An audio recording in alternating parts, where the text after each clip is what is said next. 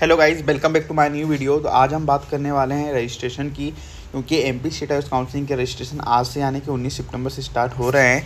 तो आप लोगों को जो अभी, फ़िलहाल अभी मैं अगर देखूँ तो लगभग लगभग साढ़े आठ के समथिंग टाइम हो रहा है। ठीक है, आठ थर्टी समथिंग तो अभी फ़िलहाल रजिस्ट्रेशन स्टार्ट हुए हैं या नहीं हुए, इसके बारे में बात करेंगे। तो अभी थोड़ी देर पहले मैंने चेक करा था रजिस्ट्रेशन स्टार्ट नहीं हुए हैं। रजिस्ट्रेशन कैसे स्टार्ट मतलब रजिस्ट्रेशन प्रोसेस कैसे करनी, उसके बारे में बात करेंगे। जैसे आप यहाँ पर नीचे आओगे तो यहाँ पर आपको कैंडिडेट कॉर्नर दिखेगा। यहाँ पर क्रिएट न्यू प्रोफ़ाइल पर आपको जाना है, ठीक है?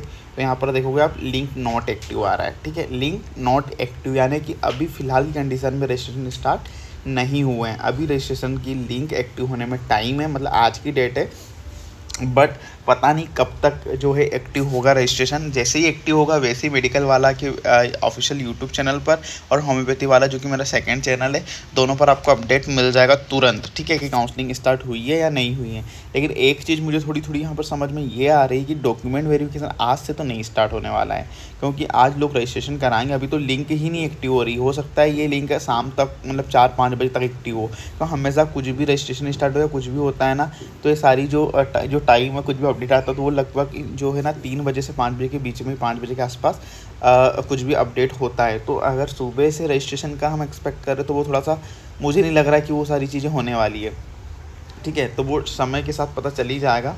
लेकिन मैं आप लोगों को बताऊँ कि आपको रजिस्ट्रेशन कैसे करना है तो आपको सिंपली गूगल पर सर्च करना है एम पी आयुष काउंसलिंग दो हज़ार चौबीस। ठीक है? इसके बाद में आपको आयुष काउंसलिंग जो कि फ़र्स्ट साइड आ जाएगी, यहाँ पर जाना है। यहाँ पर जाने के बाद में आप देखोगे पहले ऊपर यूजी पर क्लिक है, ये ध्यान देना, ठीक है? यूजी पर क्लिक हो, ना कि पीजी पर।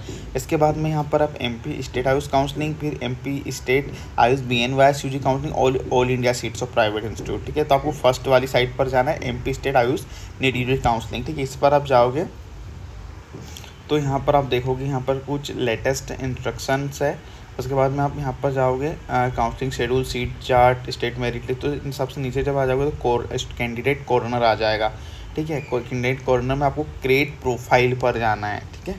तो यहाँ पर आप देखोगे लिंक नॉट एक्टिव उसके बाद अगर एक्टिव हो जाएगा तो डायरेक्ट आपको रोल नंबर और आपका जो है मतलब सीक्रेट जो कोड सिक्योरिटी कोड या सीक्रेट कोड उस टाइप से कुछ आता है, वो फिल करना होगा जो कि रहेगा आपका नीट जो आपका जो एडमिट कार्ड है या फिर जो भी है उसमें एप्लीकेशन नंबर है ना, वो रहेगा।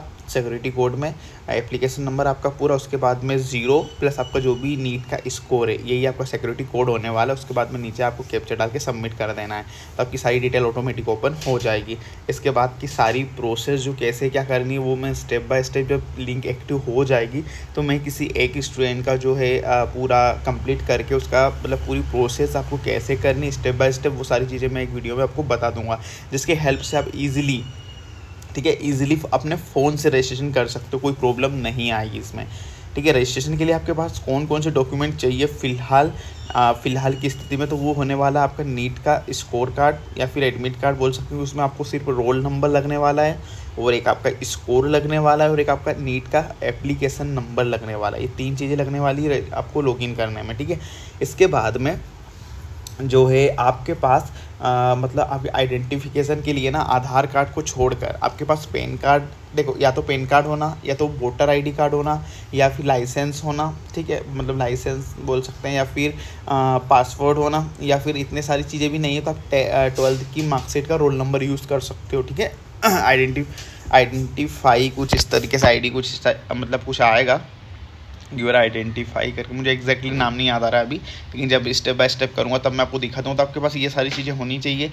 इसके बाद में आपके पास ट्वेल्थ की मार्कशीट यानी कि उसका जो है मतलब ट्वेल्थ में कितना क्या स्कोर था, हर सब्जेक्ट में सारी चीज़ें फिल करनी होगी।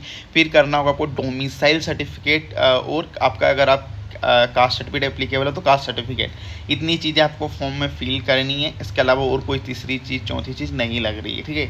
आपको caste certificate domicile certificate twelfth की मार्कशीट और जो रोल नंबर और एप्लीकेशन नंबर और स्कोर इन चीज़ों के बेस पर आप रजिस्ट्रेशन इजीली कर सकते हो। खैर, इसका पूरा वीडियो मैं अपने चैनल पर अभी अपलोड करूँगा, जैसे ही रजिस्ट्रेशन स्टार्ट होंगे, आराम से आप उसको देख रजिस्ट्रेशन की प्रोसेस कर सकते हो, ठीक है? Thank you so much video को लाइक नहीं किया तो लाइक करें, साथ ही अपने दोस्तों तक वीडियो शेयर करें, ताकि वो भी इस अपडेट के बारे में जान सके। Thank you